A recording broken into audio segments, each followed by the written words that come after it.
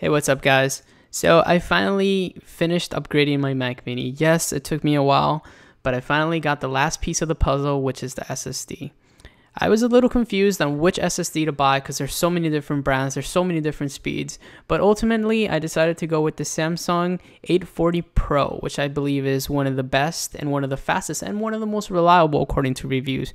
And obviously for a Mac Mini, in order to have dual hard drives, you do need an extra adapter and I did buy that adapter. So I installed. So now I have two hard drives inside of my Mac Mini, and now having the SSD as my main drive that enables the computer system to boot up from a dead cold start and relatively fast.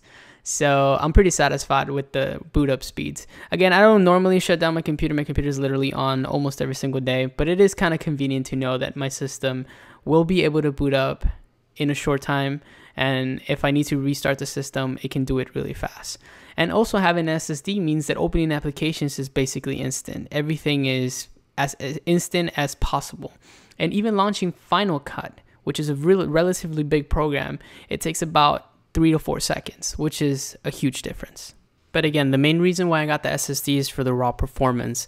And the application that I use the most when pushing my computer to the limits is Final Cut and and I can tell you right away that there is a noticeable difference. Being able to edit, scrub through the video, and everything is just smooth. And when you're creating and being creative in terms of video, it's really nice to have the system keep up with you because it's kind of a shame when you you want to do something, you have this idea in your mind and you try to do it, but then the system bottlenecks and it holds you back.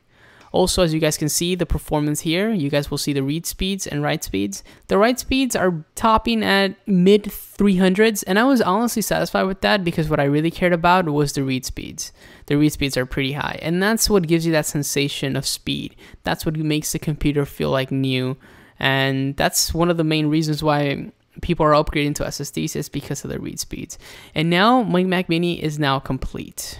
It has a 2.7 gigahertz Core i7, 16 gigs of RAM, an SSD, and I'm pretty satisfied. I think this system's going to be with me for the next couple of years, and I really don't see myself upgrading for maybe the next two and a half years, uh, maybe until they, they come out with a, a eight core Mac Mini or something, something where the the performance difference is huge. Thank you guys so much for watching this video. And if you guys are interested in the SSD, I'll have links down below in the description bar.